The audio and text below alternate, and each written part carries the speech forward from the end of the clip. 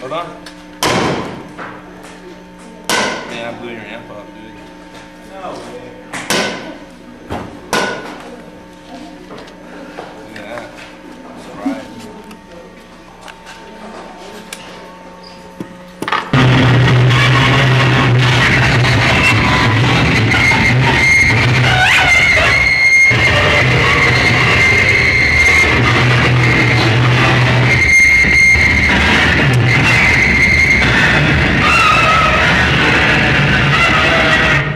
just kidding. I didn't mean to do that